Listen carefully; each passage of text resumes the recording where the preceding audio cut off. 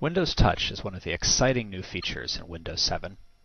Touch does the basics you'd expect, like tapping on applications and dragging windows, as well as new touch features like dragging up on the taskbar to get a jump list and scrolling.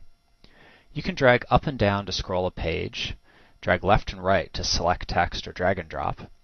You can use two fingers to scroll in any direction, and scrolling also has natural effects like inertia built in. Press on an icon and tap with another finger to get a right click. Alternatively, just hold on the icon until the ring appears and release.